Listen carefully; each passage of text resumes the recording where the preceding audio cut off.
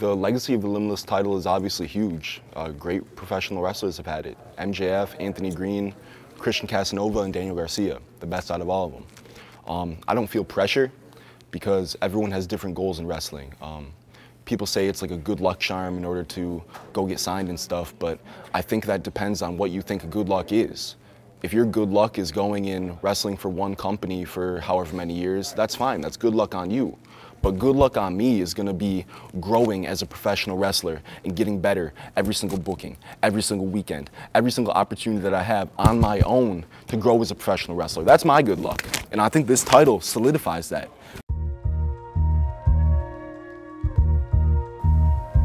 This message is directly to Daniel Garcia, the Limitless Wrestling Champion.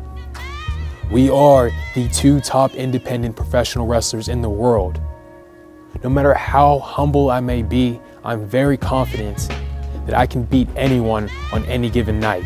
Once you're at the level that we're at in wrestling, it comes to the little things. And I think I do all of the little things just a little bit better than Lee Moriarty does. Everyone has a flaw and he has one. No matter how minuscule it may be, it's there and I'll be able to find it this time.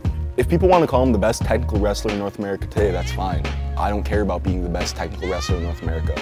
I care about being the best wrestler in the world. I don't care about being technical, high flying, striker, whatever. I'm here because I'm different than everyone else here. I'm here because I bring something that no one else can, and that's Tiger style.